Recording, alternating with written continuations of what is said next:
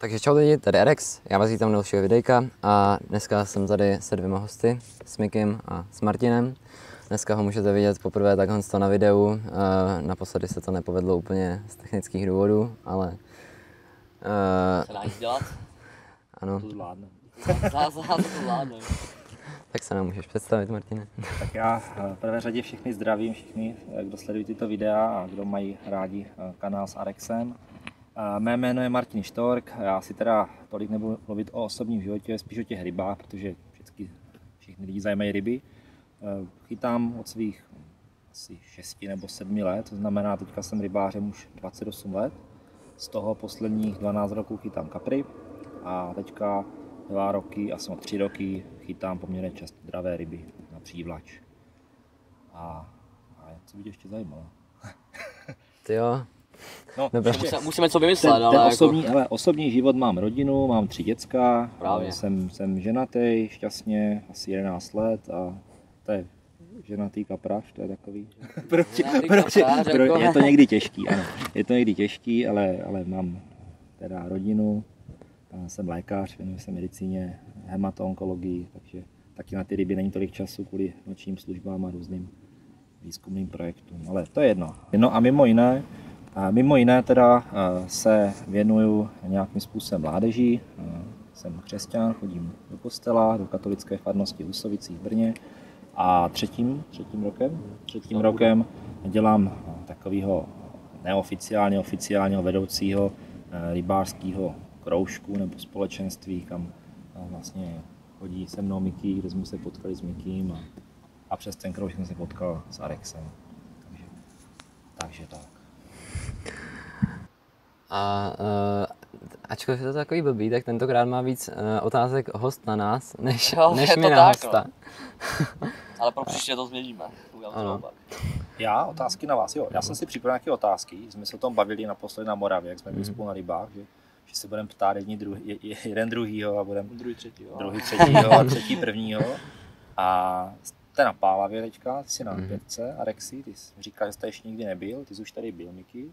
A jak mám otázku první, a je taková na každýho eh, speciální. Na tebe první, co bys dělal jinak než minule, abys byl úspěšnější? A co bys ty dělal, jak bys ty tady, jak si myslíš, že tady je dobrý chytat? Ty jsi, tu, ty jsi tu nebyl a nějakým způsobem tady funguješ, ty jsi už tu byl a nějakým způsobem funguješ teď. Já jsem to možná řekl složitě, ale, Ne, ne, ne, Ne, je, to, je to vlastně o taktice a Ano. vůbec myšlence toho lovu, jak, jak se tady k této spe, hodně specifické vodě, co určitě uvidíte v dalších videách od Arexe, Hmm. jak se tady tomu nějakým způsobem přizpůsobit. Jo, Tak tak- asi, asi může začít. Miky. Takže od minula se změnilo pár věcí, jednak určitě není už tak chladno, jak třeba minule bylo a jsou trošku jiné podmínky. Už máme k dispozici vlastní člun, máme motor, máme echolot, takže všechno se líp dělá od té vlastně minulé výpravy, kdy jsem tady byl naposledy. A e, jako změnil bych to, že vlastně minulou tu výpravu jsem neměl úplně dokonalý ten systém odpadávání těch kamenů, který moc jako nefungoval, tak to jsem napravil a teď už to funguje jako v pohodě, tak jak by mělo.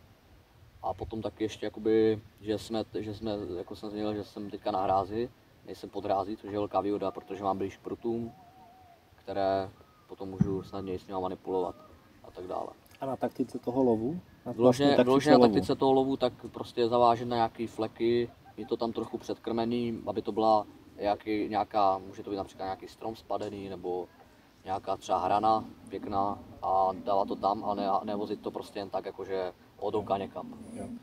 Jasně. A e, jak si ty fleky hledáš? Možná bylo dobré, kdybys řekl, jakou techniku, protože třeba nemáte GPS na sonaru, nemáte sidescan, nemáte Jo, technologie, jo. jak to děláte, ty, jak to hledáte ty fleky. A i klidně třeba, jak Já to tak můžu, můžu říct, že Já to ten flek, No tak to můžeš. jo, tak, to- no, takže fleky vlastně nám našel ty, ne? A tak jako něco jo, ale zbytek jste si Ten jeden našli flek a sami, ten ne? druhý, jo. no takže... No ne, tak jeden jsem našel Jo, já jo. a druhý jste si našli sami, že jo? Hmm.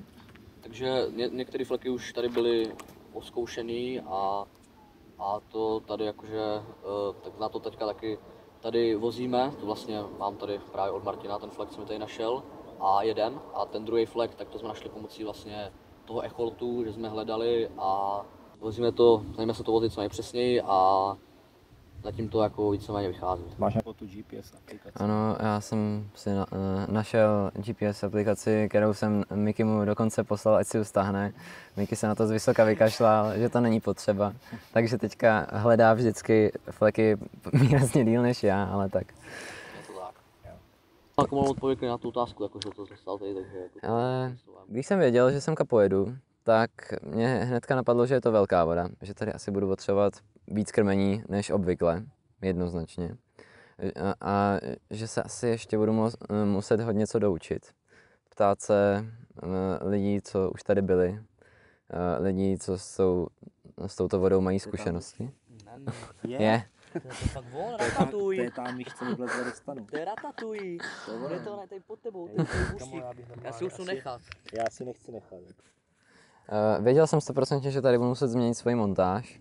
Uh, to se týče konkrétně plováku, který se dává na šokový vlasec, uh, aby ten vlasec vedl vlastně po hladině a ne přes vásky, kterých je tady poměrně dost. Uh, a taky jsem věděl, že budu muset začít šetřit na člun, protože bez toho to tady asi jako uh, nemá úplně smysl, nebo to jako. Jako já jsem tady chytal z odhozu, chytal jsem tady z odhozu, ale většinou chytáte na menší rybník. no právě. Jo. A taky, když je to hodně lidí, tak ten odhoz je méně efektivní než ta Hmm. vyvážka. Jednoznačně. Se potom můžu taky dostat. No jako zkráceně prostě jenom optat se, zjistit, jak to tady funguje. Já si hlavně myslím, že během první výpravy, když tady seš, tak se na tuto vodu abs- absolutně nedá připravit. Já No. jsem tady byl první z odhozu, tak jsem řekl, OK, chytám tady podobně jak na střední nádrži na D6, jako daleký odhoz, krmení raketou, ale pak jsem se měl z vyvážky, já jsem se se člunem a to byla taková šupa, že jsem naraz nevěděl, co mám dělat, prostě vozím, vozím to obrovský dálky, 300 až 500, 550 metrů a to je úplně jiný level, než jsem kdykoliv chytal, jo. takže eh, já myslím, že úplně oprávněné, že Hmm. úplně reaguje, že vlastně ne, člověk neví hned, co, co, co dělat. No tak jasně, no. K jinému tématu a je úplně jiný a jakoby že točí se videa o rybách, hodně se o, o rybách mluví, růz, jsou různé reklamní firmní spoty a žrádlo na vybavení, jsou videa prostě, kdy kdo někoho učí nějak chytat a tak a oproti, naproti tomu je to, že rybářů přibývá u vody, je víc a víc Hmm. lidí a že um, jakoby ne všichni lidi ty ryby pouští, ne všichni ty lidi se k těm rybám chovají slušně a kde je nějaká podle vás míra toho, eh, kdy opravdu prozradíte nějakou věc, která je jako, jako zásadní nebo nějaká prostě rozdílová a kde, ta, kde už třeba to neřeknete a jestli v některých případech přípustné neříkat pravdu v některých videách. Neříkat pravdu v těch videách. Ano, jestli to je přípustné. Protože nakonec jsme čestní lidé, a, ale chráníme ryby. Tak nejdřív se asi vyjádřit ty, protože ty to Jako- točíš. Potom Jako, já si myslím, že to přípustné jednoznačně je, protože samozřejmě člověk si to nemůže vykecat, že jo. Prostě, No, kdy, když, jako když jde člověk na nějaký flek a náhodou ho někdo ve videu třeba pozná, protože já... To jo, ale třeba jestli je přípustné říct, že třeba si chytal na plovky a chytal si prostě vy- vy- vyvážku někde a přitom si chytal někde u pár tyklů břehu. Třeba, že prostě záměnil žeš. Jestli to je přípustné, protože To- jsou lidi, co tak dělají. Já Jako vím, že jsou záměr- lidi. Záměrně lhát si myslím, že je špatný, ale neříct nic Je, je, To je, to jo. je úplně v pořádku. To souhlasím. A kde je ta míra podle vás? No. To o fleku nebo nějaký prostě inovativní technice, kterou vymyslíte? No, kde, kde je podle vás ta hranice, kde už to třeba neříkáte posluchačům? Jo, jako vyloženě, když si přicházím na něco, co funguje jenom na... Choulostivý jsou ty fleky. Ano. To jo. Si myslím, že jako to je hodně choulostivý. Bohužel teda chodím jako na, na přehradu na Brněnskou, kde to je vždycky jako... No, tak tenhle rok tomu není zas tak. No hele, ale... To objeli docela dost. No, ale chodím tam na fleky, kde prostě jako, když se na to člověk z Brna podívá, tak ví, kde chytám, že jo. To je prostě... Jo, to jo, No, no, tady to je třeba nevíš, kde chytáš, že to je To tak rozlehlý, ano, vlastně nevíš, přesně. kam to, tady je míst a míst a míst pod tou vodou, kam to jde vozit, že Hm. Když, když to, když si zajdu jako na přehradu i na, i na moje top fleky absolutní, tak prostě tam se může dostat kdokoliv, že jo. To je... Takže jako můžu říct sice na co chytám, jak daleko, a A to by zase měl říkat, na co chytáš, když máš spolupráci. jasně. Ale jako jestli jsou to plovky, Jo, jako eh, to těžký takhle. gule, 24, 12, chápeš prostě. Tak to. Ale, ale ty jo, nevím, jako propálit si třeba, že někde je slávkový pole nebo něco takového prostě. Nemysl, nemyslím si, že pak už to je úplně dobrý, no. svůj názor na to? Něký? Mm, Já si myslím, že, jako, že se dost jako shodnem. Mám říkat Alex nebo Petr? Alex. Arex, s Arexem, jakože, že si myslím, že ty fleky jsou jednak ty jako choulostivý a potom jakože, že už jakože když už se prozraduje jako moc věcí, tak to taky jako nedělá podle mě jako moc dobrotu se myslím. Ale, ale mělo by to být jako tak prostě s mírou a ta míra je tam jakože, že by to jako mělo být takový jako víceméně obecný, nemělo by to být jako úplně No. braný jakože na, jakože úplně jako přesně, jestli jako není to prostě tutoriál, že jo, to video. jak Jasně. Jo. Ale ono samozřejmě to, co tam, to, co ve videu řeknu, tak může fungovat jeden den a druhý Přesně to může být no. úplně jinak, takže to Jako je... už bych se podle toho neorientoval, jako podle třeba některých těch videí. Částečně ano, Částečně jako může- dá se z toho něco vzít, ale jako není to úplně jako přímá. není to jako... eh, není to zaručený recept nikdy prostě, no. A máte na mě nějaké otázky? Nebo Hej, my jsme, my jsme jakoby, chtě, nebo takhle, já jsem měl jako v plánu udělat jako něco s tebou o nějaké té rybařině, třeba jako nás chytáváš, co jako děláš ty, jaký máš třeba zvyky a takové věci, ale nevím, jako jestli, ne, jako nějak to asi úplně Mě neprošlo. třeba tak napadá, uh, ty si děláš sám boilies, že jo? Ano. Tak jak ses k tomu dostal? Jestli jsi předtím chytal na komerční nástrahy a jak tě napadlo je, je, ta myšlenka, že si budeš dělat vlastní? Ale já jsem si dělal vlastní nástrahy, i když jsem úplně malý. Tak jsem prostě od nějakých, řekněme, 10-11 let. Hmm. Jako fakt jako od děcka, protože je to jednoduše té době. A musíte taky počítat kluci s tím, že mě je 34 let a vy jste začínali chytat kapry v úplně jiné době. Kdy Hmm. No jasně. je, jsou přeplněný trh, je úplně jako přesycený, jsou přeplněné obchody a můžete si vybrat Hmm. hmm. 10 různých eh, variant olivňového bojlísu a, a 12 různých variant krabového bojlísu a řešíte, jestli prostě pruty mají duplo nebo jestli mají korek a jestli mají 2,75 nebo 3 a za mě tohle prostě nebylo. Jako za mě Hmm. byl jeden obchod rybářský v Hroní a potom jedno takový sport, kde měli pár vlasců a, a Boilies tehdy byl fenomén, to byly první, první vlastně výrobky v Česku, jedna která z českých výrobců od Těšínského Jetfish, a pak to byly kuličky prostě od, od Mosely, firma Mosela, byla to prostě Richword firmy, staré firmy, které už v podstatě asi ani neexistují, krom teda těch českých, že ten, ten Jarda Těšínský pořád s tím funguje. Takže eh, navíc z mých eh, finančních možností v té době to nebylo dostupné, že ty sály, to Hmm. pro mě bylo drahý, bylo to, on se drahý pořád, že? A jak jsem si kupoval časopis Kajma na rybářství, tak tam byly první recepty, byly tam prostě recepty ze sojové mouky, tak jsem nahradila pšeničnou, že jo, protože soju Hmm. neměli, nějaký strouhanky, oleje, vajíček, potravinářského barva, pudínku, takovéhle věci, z kořice. Jo. Si pamatuju, že jsem si koupil první sáček eh, Robin Redu, to byl strašně pálivý, tak jsem se to bál do krmení tehdy. Takže od té doby jsem tak začal s tím nějak koketovat a vždycky jsem si boilies dělal.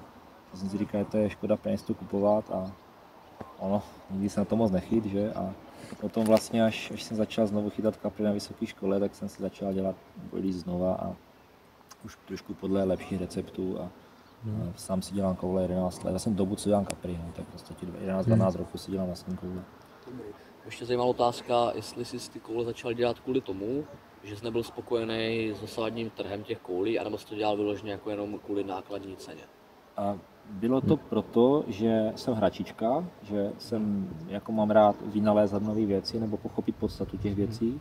A přišlo mi, že eh, protože řekněme mám nějaký přírodovědecký, řekněme, nebo prostě mi- vzdělání ve smyslu jako nutrice a ve smyslu metabolismu ono nakonec v podstatě ten metabolismus kapra od tak odlišného metabolismu člověka není. Ve Aha. výsledku jsou to cukry, Hmm. tuky bílkoviny, aminokyseliny, nějaký prostě vitaminy, tyhle ty látky a, a moc dobře jsem věděl, že to, co se píše na internetu o zázračných vlastnostech boilisu, tak prostě z 90% jsou prostě výmysly, úplně nesmysly, co, co tam lidi píšou, jako něco ve smyslu, že sůl mění pH vody a takový to, takový to hlouposti. A no, tak to potom čtete, když člověk má maturitu z chemie, tak nemusí být nějaký žádný No tak na to člověk asi ani nemusí mít maturitu z to je chemie. pravda, no. na tohle nemusíme. To je Že pravda. jako se tam vyskytne těch Jo, jo, jo, no a právě a to jako- prostě přišlo, že kolem toho jsou strašně velká mystifikace kolem tady této otázky a, a že vlastně ono to tak těžký asi nebude Mhm. a tak jsem se snažil tomu přijít na chuť a byla to pro mě taková jako hm, takový, řekněme, volnočasová aktivita, nad tím přemýšlet a čistit si hlavu od školy tady tímto a, Jo. a, tím, a plus teda samozřejmě ta cena, ta za začátku byla jako velmi srovnatelná s těmi komerčními produkty, že oni taky, že mají jinou výrobku, mají marži, že? A když koupíš moučky od, od, od malou, malou obchodě, tak jsi tam, tam, kde jsi byl. No, jo, no. A, Hmm. Potom postupně to zrálo přes nějaký takový větší válení, třeba dejme tomu naraz, naraz. První jsem si dělal třeba 5-6 kg koulí, jenom ze sesáčku z rybářství, což vyjde fakt jako raketu, to vyjde až 400 za kilo, ani, ani nemrkne člověk. A potom jsem začal jako ty várky třeba po 10-15 kilech a poslední, co jsme dělali u kámošů na, na, na, na dílně nebo na, na strojích, tak to bylo asi 130 kg toho bojlízu. A už jsem to kupoval jako ve velkých baleních a už ta cena potom byla lepší, zajímavější. A v tom to takhle jako jedu. Takže první myšlenka byla hračičkovství, hra, hraní si a, a psychická nějaká odreagování se plus nespokojenost s výrobky a s cenami. Mhm. A nyní to je v podstatě taková jako asi, je jako hobby, ne? To asi takový spíš, hobby, jako- no. Asi takový hobby. A přijde mi, že to tomu patří k té kaprařině nakonec. Ono potom spoustu neplodných řečí se vede o tom, jestli to bude na, na nikla, nebo na krásu, nebo na, na jetfish, nebo na, na squat carp, nebo na carp stáry, ale ono ve výsledku, jak člověk ty koule dělá, tak pochopí, že to tak jako složitý není, že, že těch, No. těch věcí, které tam v té vodě fungují, je, je několik a, a, jako je jedno, který, který pan táta vám to prodává potom. Ve výsledku to bere na, ke všem, kdo to moji komerčně dělají. ve výsledku to bere na všechno, ale te, prostě tě to baví. Jo, to dělá? jo. Ale třeba tady, jako zrovna na této vodě, teďka, když už teda se o tom bavíme, tak já jsem tady chtěl chytat na mošlový bojlík, který jsem si dělal, byl takový neúplně výrazný chutě, takový spíš selektivnější, tvrdá nástraha s jemnou vůní mušlí. A ta ryba prostě to nechce, ryba tady, tady chce atraktivní nástrahu, prostě kořeněnou a na ten bojlík jsem tady neměl záběr. Sledoval jsem to, sledoval jsem to i minulou výpravu, že tady ty, ty čistě ryby, příchutě, nenápadné kuličky, že to není úplně ono. Na jiných vodách třeba se to fungovalo velice pěkně, třeba na Ostrožské Nové Vsi, ale, ale tady třeba vyloženě funguje, mně funguje a jiným taky kořeněné ryby, rybí nástrahy, takové silně, silné chutí. Třeba Robin Redners, čili Třeba kebab. kebab. Kebab funguje, náš kebab funguje doslova jenom na tom, že je nadipovaný v soli, jak, jako. Mě třeba tady, když už o tom mluvíme, tak mě tady funguje Boilies uh, Oli Henschel limetka, které jsem si dělal vlastně v té velké várce, jak jsme to s ním pomáhal s tím, že jo. A to, tak je to v podstatě můj vynález, ten limetkový olej do tady toho používat. A loni jsem na to chytl 20 tady v listopadu a teďka jsem na to měl to 16 kg kapra, který Hmm. taky asi se tady ukáže v nějakém videu. No, no. Super. Já doufám, že teda ještě jako nějaký přijde dneska. No, ale ty taky jo, to tak bude to se úplně- také uzavřel. Tak řeknu krátce, jak tady chytám já. Jo. Já tady, já se na té vodě si teda můžu Jo, se zeptat jo. sám sebe. A Jasně, jasně. Dobře. Jsme se o tom, vlastně ten první dotaz byl na ten váš styl. A já teda chytám tady tak, že uh, jsem pochopil, že to je obrovská voda a velkou krmnou kampaň tady ty ryby člověk nemusí úplně nutně přesvědčit. Eh, Že spíš jde o to hledat uh, malý místa, které jsou něčím výrazně odlišné od toho většinu reliefu dna. Uh, k tomu využívám poměrně výkonný sonar. Uh, mám teda Helix, osmi- Helix 8 Humminbird, a který prostě má schopnost vykreslovat plošné mapy pod tou vodou, když vlastně já si projedu dno, zjistím nějaký otypus, nějaký místa, které mají větší tvrdost a potom se těm místům věnuju, už zastavím, eh, jezdím do kolečka, nahrávám si to prostě po více směrech, případně vyťukám kotvičkou, zjistím, jestli to dno je tvrdé, měkké, jestli je to vyvýšené, jestli jsou tam slávičky, to křupe na ty místa se snažím umístěvat, umístěvat montáže. U těch míst krmím poměrně málo, třeba dvě, tři hrstí, dvě, tři hrstí bojlí, které teďka předlípované naváčím ve vodě, aby bylo takový odleželejší a nepřijímalo pak z bahna, že na těch nových mlínech bahna celkem je. Byť ty místa jsou, jsou třeba plný škeblí, tak ono ta kulička vždycky smrdí nějakým způsobem od toho, od toho bahínka. No a montáž je úplně jednoduchý, prostě háček dvojku nebo čtverku, buď jednoduchá montáž, prostě, kdy jenom tam žád, jenom, jenom rovnátka, je bez rovnátka, nebo blowback rig používám, já jsem stará škola a tady ty věci, co děláte vy, A tak já tady jedu taky teďka čistě jednoduchý návaz, Jo, nic jo, jiného. právě, právě. Jednoduchý návaz, 40 cm dlouhý, mám tam brček 2 gramový a závěsku, ve závěsce mám gumovou bužírku z kola, ventil gumku, na tam je šuter. A potom mám, mám tu bužírku vlastně proti podření od, od škeblí, protože ten poslední 40 cm je v kontaktu s tím dnem a tam pokud jsou tam škebličky, tak je rozdíl, když poškrábete bužírku, která je navleklá na, vla- na monofilu, nebo že ten monofil. Že? jo, To je velký rozdíl. Bužírka se Hmm. vymění, monofil ne, nese rybu, že ten nese Hmm. rybu. Tak tam mám asi 30 metrů monofilu, 60 a potom pletenou šňůru. Mám ji tam 700 metrů na navijáku, teďka vozím jednou, co mám 470 metrů, jdu v 550, je to velká dálka. No. Vzhledem k tomu, že to je daleko a vím, že ten elektromotor tady je prostě člověk tá kratší, kratší čas provazu, když má elektromotor, tak mám spalovací motor a má jako no, hmm. dvojkoňák a jedu, jedu zpátky. No. Takhle tady chytám. Kopeš koňára a Přesně tak. Ty- Nahulíš to a jedeš. Nahulíš to a jedeš. Když už jsme byli u těch návazců, tak uh, dneska jsme s Mikem vedli debatu o tom, jestli lepší eh, na vyvážku delší návazec, nebo, nebo je to jedno. Je. Já si myslím, že lepší jako takhle. Eh, Znám lidi, kteří chytají velmi efektivně s velmi krátkým návazem, třeba 6-7 cm a těžký olovem. Na řece viděl jsem to, já nešla, nešla mi do toho hlava, ale, ale jo, pojď ne. V Anglii se chytá normálně krátký návazce, taky ty li- lidi chytají ryby.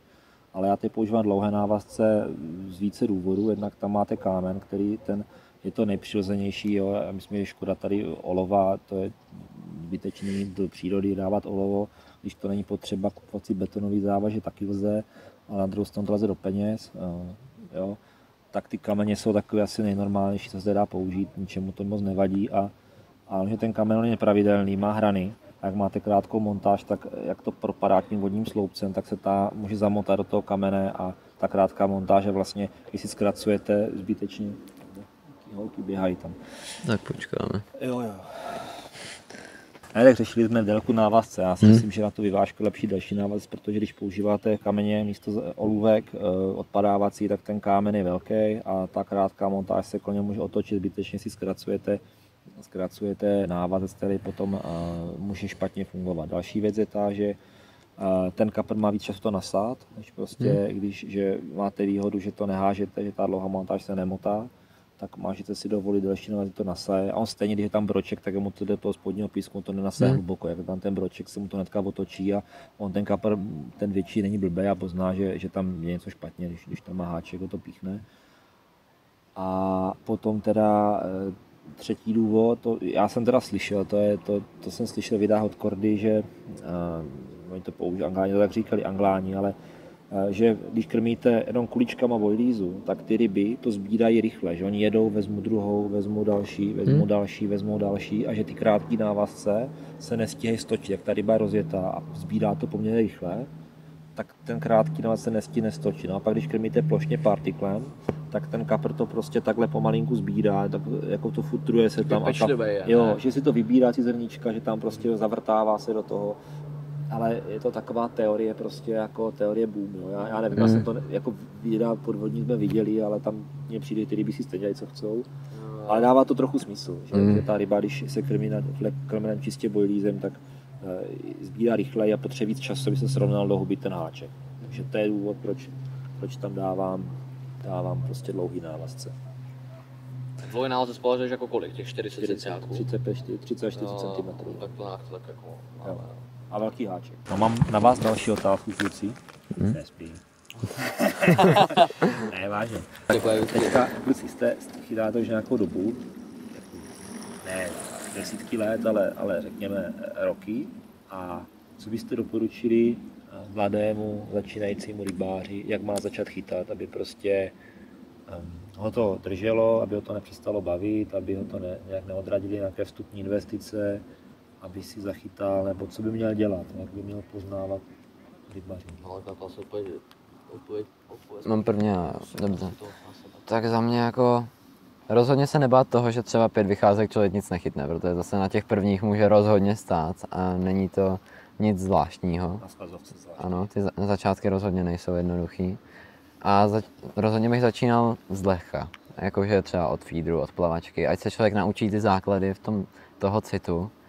Protože když si člověk ro- rovnou vezme do ruky prostě tady těžký kaprový vybavení, tak Sedne si sem ještě. No, tak ta- tady má jako dost velkou šanci, že nic nezachytá pořádně dlouho. Může se stát nějaká halus, že jo, ale není to moc pravděpodobný. A jinak, ty jo, dobrá otázka. Najít si tak nějak svoji cestu, nechat si poradit, No, nechat si poradit, no. no, a jako hledat informace.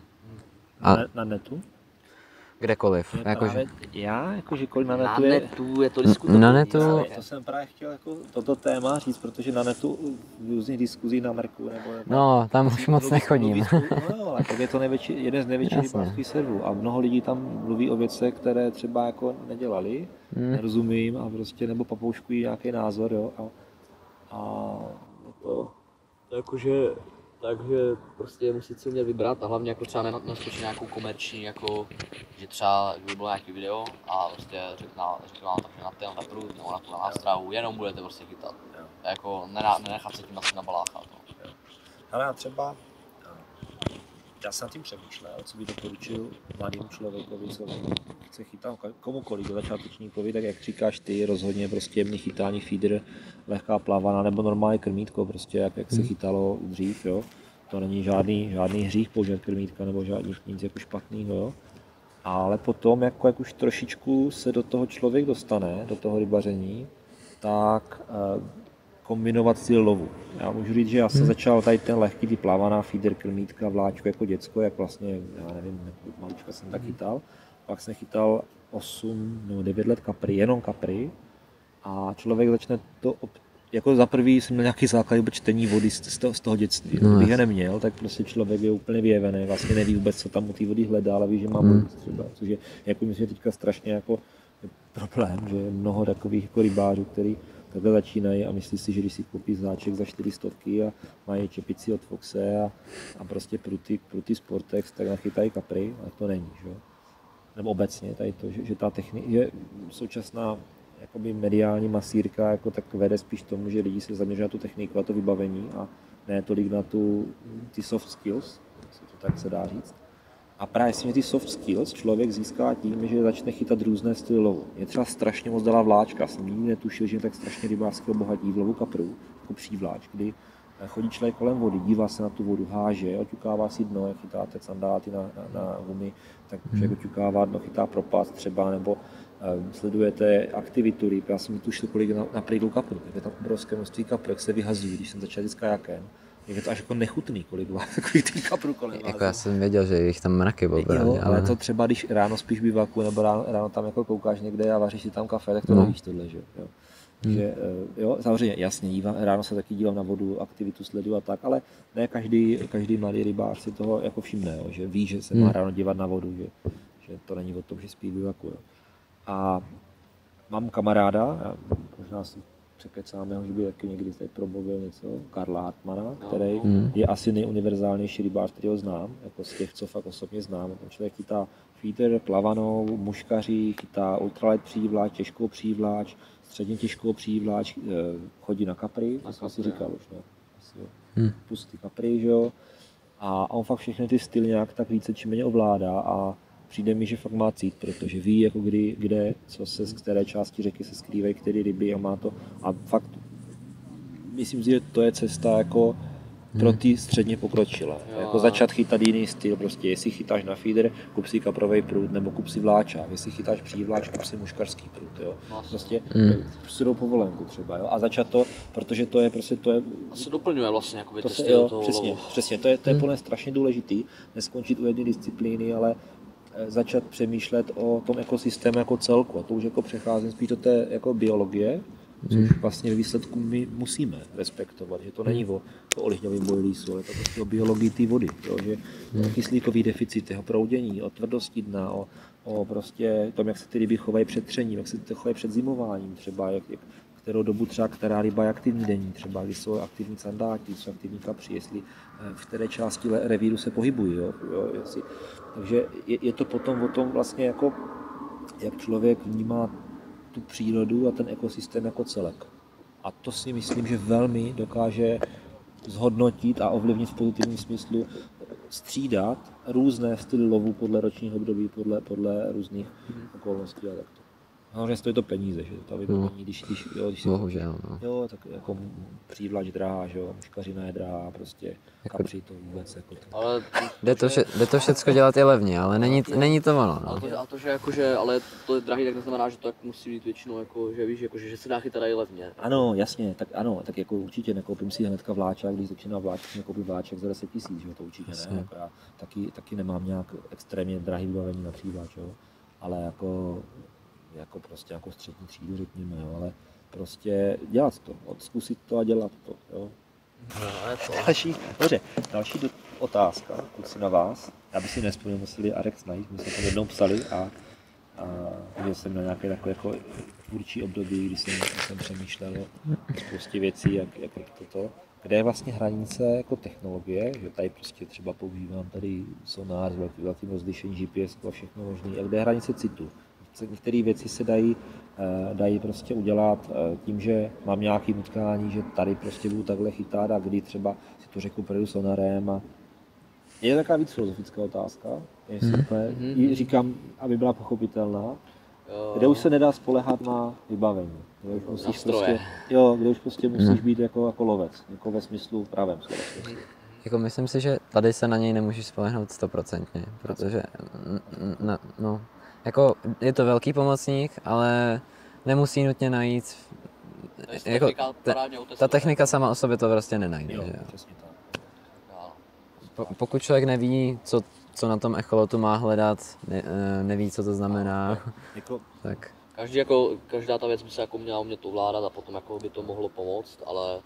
Jo. Asi je to tak nějak jako o zžití s tou prostě technikou. Zžití, Jinými slovy načnu mám, ani nechci říkat kolik tisíc a dneska no. jsem záběr neudělal. No. to je no. přesně ono. Jako. jako tak. Takže mnohdy to není jenom třeba právě jako do té výbavy nebo té, těch technologií. Jo, a ještě teda ještě jednu věc se vás zeptám, když jsme hmm. teďka na lípě, prostě tady pět dnů jsme tady, praží tu slunko jako prase, prostě ryby moc nejdou, tady strašně moc lidí, prostě někteří jsou v pohodě, někteří nejsou v pohodě, co tady kolem nás chytají. A jak vy hodnotíte český svazovky? Je to, to, prostě... to nevím, jako jestli by to by se dalo já to, kate- já to kategorizuji na moravské a, a, české, a české no. protože já jsem třeba je to, se nechytal. Tyjo, já jsem jel na to labe a tam normálně vidíš skákat 15 kilový kapry. Jakože prostě za den vidíš třeba 10 ryb na 10 kilo. Skočit na hlaní. No jo, ale fakt, že tam je to prostě jedna za druhou, že během pěti minut občas vidíš dvě. Potom, a jako... Taky se dá jako všude, že? Jo, dá se tam vyhozet, jasně, ale, ale to... Ale to, la, la, ty ryby, já myslím to okolo, prostě to prostředí, lidi, zákony, podmínky, a, i tak. řád, že jo, a tyhle věci. Jako, že, to vyjádří, jo, dobrý, pověz to. Jakože jsem chtěl říct spíš to, že ne jako zarybněnost těch vod, která mimochodem na DIP je obrovská zarybněnost, ale spíš hmm. to, jakože kam se to tak nějak ubírá, ten styl, jestli prostě, když chytáte, nevím, x roku na svazovkách, jestli si řeknete, tak já nevím, já už tady prostě, už, už to budu limitovat a chci třeba, já neskusím něco jiného zahraničí, míchat to se, se soukromkama, nebo jezdit si odpočil někam jinam, ne třeba sem, jakože, nebo jestli ten, já bych to taky tomu něco řekl, mm. ale a jak to cítíte vy, protože tady to je jako extrém. Jako Mám se jako vyjádřit vyloženě k těm pravidlům nebo k těm rybářům? Čemukoliv. Prostě tomu celkovým pocitu, no. ten, jaký z toho máš ten, ten, ten vibe z toho. Tak toho. začni ty, začni. Jako u pravidel máme jasno, strašně mě štve, že nemůžeme chytat non-stop.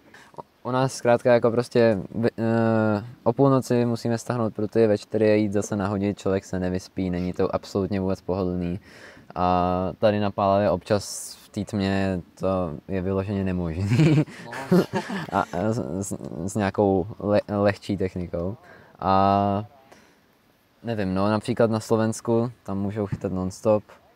Mně by se to jako dost líbilo, ne, nevidím tam ten, neviděl bych tam ten problém v tom. Ale jestli se k tomu můžu rádi, tak já bych tam ten problém jako celkem viděl, protože dost rybářů, tady u nás třeba v Česku právě jako se může stát jim to, že třeba právě jako zaspí nebo něco a potom jako chápu už to pravidlo, že vlastně jako můžou prostě té rybě ublížit tím, že třeba to urve a potom to tam má jako v té, jako prostě ten háček nebo tak.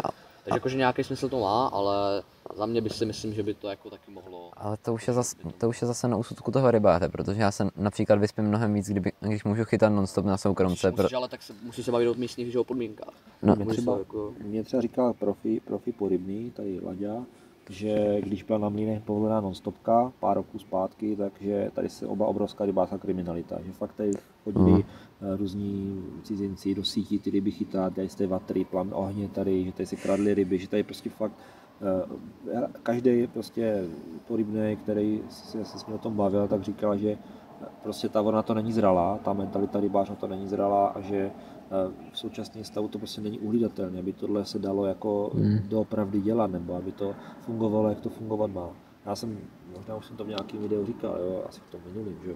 Já jsem zažil nonstopku na Moravské Nové Vsi, hmm. tam to fungovalo tak, že prostě musel osvětlené místo, musel eh, být probuditelný, prostě reagovat, jo. V noci každou noc zašla kontrola, vždycky dvě kontroly byly, že když člověk je v pohodě, tak, tak už nechodili a jednou tam udělal průser nějaký, něco se tam stalo, a hele, prostě koncovka, policajti, měšťáci a už to jelo a už si tam v životě nezachytal ten člověk. Jo. Mně se to samozřejmě nestalo, já jsem byl v pohodě, že já jsem tam udržoval, co se dělo, ale viděl jsem prostě o případy, tam prostě byl nějaký oheň nebo nějaký prostě vasení a konec. A co je jako takový ten nejlehčí kick, za který tě už jako můžu? Tam? Ale já, ty, já jsem tam žádný kicksy moc nedělal, že jo? Já jsem... Ale jako o čem víš jako třeba? Nejlehčí, ne, no, no. kicks tam měl oheň třeba otevřený to je prostě to je vodní zdroj prvního, prvního stupně, mě tam prostě hmm. otevřený oheň, anebo tam prostě někdo vzal kapry nějaký, prostě nasakoval tam kapry a, a jako hele, když sakuješ kapra, tak jak jasně, většinou lidí to jako foce, ale jde no. o to, že někdo to dělá, protože tam prostě někdo přijede a odveze, jo. No jasně. Jo, což jako oni nejsou hloupí, nechce, aby tam trofejní ryby odváželi z toho rybníku, jo. Takže tohle třeba, tohle vím, že tam byl problém, byl tam problém, a prostě byly tam jasně dané pravidla, třeba tam bez podlážky, jako prostě broli jenom, jak jsme měl podlážku, tak byl zápis třeba takhle, toto vím třeba, že hmm. řešili. A tak tahle, tam to nebylo potřeba, tam byla pěkná travička, to byla jak anglický trák, tam to nebylo potřeba mít podlážku. Že? Hmm. Ale je to, nejde o podlážku, jde o princip, prostě, že by nějaký pravidla, které by poměrně benevolentní a ta voda byla perfektně hlídaná, což tady prostě není reálný. To je hmm. tak obrovská voda a vím moc dobře, že ta rybářská stráž má s tím problém, je jich málo, eh, není to žádný finanční terno, co jsem slyšel a ta motivace není tak velká, jako tady denně jezdit, jo, tady hlídat rybáře. A potom samozřejmě to generuje spoustu, spoustu nešvárů, které bohužel jsou plošně řešeny s zákazem lovu v noci. No. Takže to, je, hmm. to je můj názor. A ještě třeba, jestli se k tomu jako můžu vyjádřit, tak jakože jak třeba chodívali ti podobně, mi přišlo, že jako chodívali míň, jako dřív chodívali míň, mi přišlo jako, nebo minimálně teda na některých jako vodách. No minimálně na Baňanský přehradě no, chodí velmi. Jako to, ale, ale, ale, to je dobře, jako na protože no, právě, no, no jo, to je strašně jako dobře. Se pořídilo placku, no. začalo chodit, protože jako, hele, tam se taky děli různé věci, no. dějí se doteď a co mi říká kamarád, co tam dělá, pro, jako vlastně, pro, ne profík, a dělat normálně jako rybářskou stráž, tak ale oni pokaždé, když jdou, tak někoho vezmou, že? protože tam někdo chytá, chytá důr, nebo prostě nějací tam místní dělníci prostě různých hmm. národností, tam prostě jako chytají tam do sítí, prostě berou tam ryby, jo, jako tam se dějí spoustu, jako to třeba nevidíte, ale vy tam nechodíte v noci jako v noci hmm. na lov, jako jo. Ale že oni pokaží tam jako veme, jo, třeba, já nevím, nějaký trojháčkový systém, pytlačky tam líčí prostě, ale jo, jo pro, pro, vás to není normální, ale pro některé lidi to je normální, takže já tomu jedině fandím a, a už jsem třeba oželel jako tu nonstopku, a myslím, že na tom videu to můžu říct, ať někdo se odsoudí, vždycky jsem to neodržoval, byly doby, kdy jsem prostě to tam nechal přes noc, s rizikem, že když mě vezmou papíry, tak, tak mě prostě vezmu. Ale jinak jako, myslím si, že eh, na českých a moravských svazovkách je stále co se zlepšovat. Jo, určitě. Napřík... Vždycky je co zlepšovat. Chtělo by to i nějakou digitalizaci, na které se teda už jako strašně dlouho samozřejmě pracuje, jenom, jenom nikde není vidět. Víme, že jsou lidi, co si tady dojdou papíry, jako si nebo další, že jo? No právě. To no. tak jako je, že jo? No.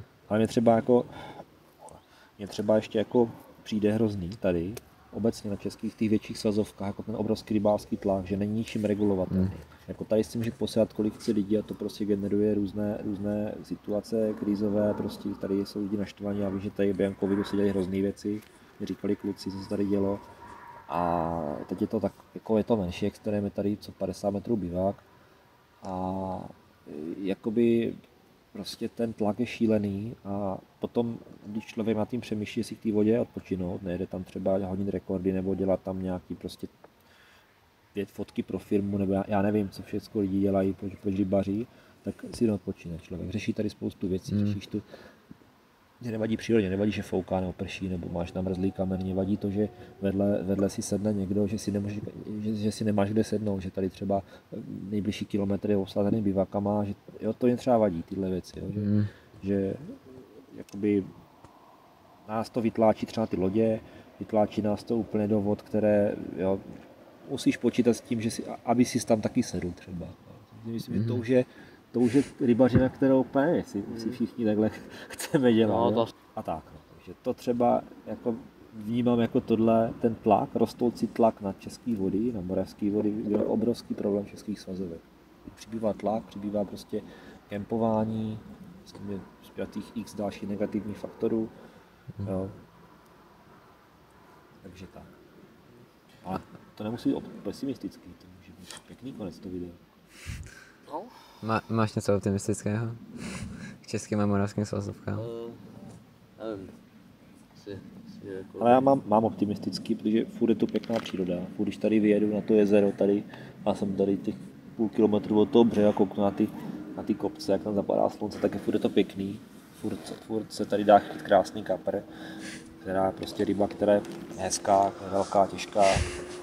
A furt se tady jsou normálně lidi kolem toho břehu, tady pár lidí znám, co tady sedí, dá se s nimi normálně bavit a, a ať to má svý negativ, to má svý pozitiva a prostě za mě to furt má smysl.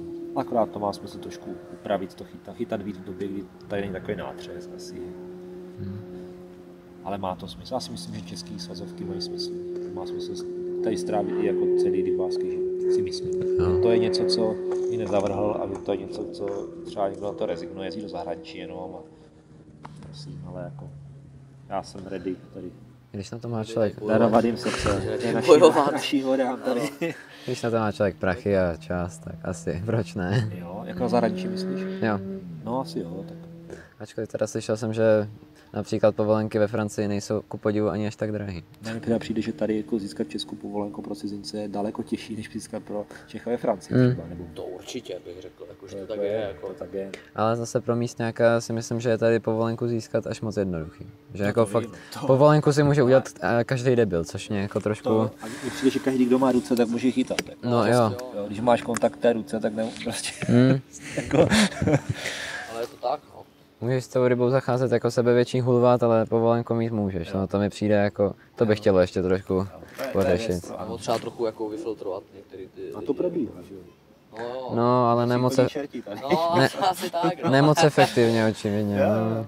Je to Ne, tak prostě furt si myslím, že jako i když ty lidi, kteří se k těm vodě, k vodě chovají špatně, nebo k těm rybám chovají špatně, tak si myslím, že tady probíhá dost regulační mechanismů. Jo. Jako třeba tady chodí nosí čerti a berou je do pytle povolenky. tak je to tak. Takže má to nějaký. Já si myslím, že ta cesta není úplně špatná těch českých svazových vod. Vnímám to třeba s optikou. Rybář se chytá téměř 30 let a má to furt smysl. Si Myslím, že to má smysl. Hm. došly naše děti. A tím končí naše video. Co to řekl Jo, tebe? To jsem měl říct ty. To je jedno. Je to Tunes. Hele, já to tentokrát nechám, říct já. já to tentokrát nechám uko- ukončit Mikyho, schválně to vyplní. A co mám jako říct? No. Jo, tak už jak, ale- Mně došly děti, on natočil Jo, vůbec ano. teďka děkujeme, že jste sledovali tady ten náš takový drobnější podcast tady s naším hostem. Doufám, že se s ním ještě někdy uvidíme tady před kamerou. Ve sklepě. A ve, skle- ve sklípku. Příští týden ve videu uvidíte. Ve sklepě a uvidíme... No, to jsme neuvidíme nic. Dobrý, já to vezmu znovu. Ne, nevezmu, vem to ty, já už nechci. Dobře, tak, tak Miky. ne. No nic, tak jako celý, celý znova, jo? Nechceš tam mít nic teďka. Ne, počkej, tak já, já to ještě zkusím jednou. Dobře. pokus, jo. Takže děkujeme, že jste sledovali ten, tady ten náš menší takový podcast s naším hostem. Doufám, že se ještě tady někdy uvidíme spolu před kamerou a popovídáme si. Jak vidíte, je nás tady dost a hodností s dětmi. Tak snad se tady ještě někdy uvidíme a se mějte hezký den. Ahoj. Zatím, čau.